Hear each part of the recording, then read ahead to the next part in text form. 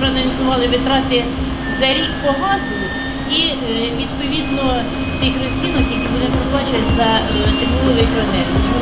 Е, За сутки десь, ну, Юрій Ніколаєвич говорив, е, А, калорії? да, да, десь 4-4,5 Гигакалорий. калорій.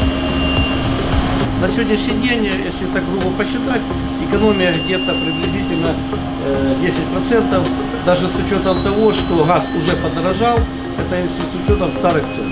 То есть это тоже выгодно нагрузка на бюджет.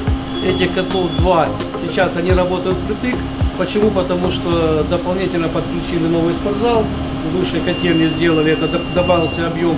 Поэтому мы хотим поставить в соседнее помещение еще один котел и уже на следующий год затопить детский садик, который на сегодняшний день отапливается электричеством. Э, Комплектующие в основном вот эти редуктор, двигатели это итальянские. Вот, все остальное делается в Украине, в том числе. Первое, я считаю, самый важный момент, это то, что реальная температура в школе увеличилась для детей.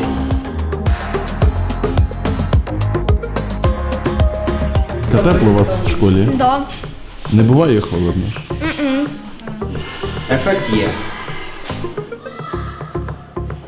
Тут два компонента. Одно, что начали топить регулярно, ну, все-таки бюджетные организации стараются экономить, и иногда на выходные дни выключали отопление. Сейчас топится постоянно, поэтому школа набрала температуру, и плюс дополнительно в этом году поставили окна, все в комплексе дало комфортную температуру для детей.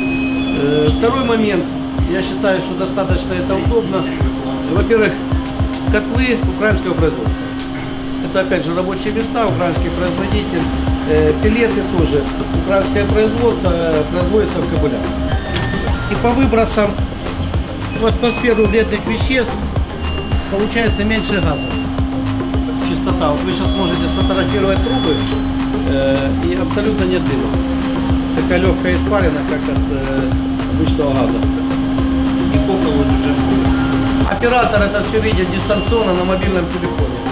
То есть в любое время он может включить и посмотреть, что происходит в этой котельной.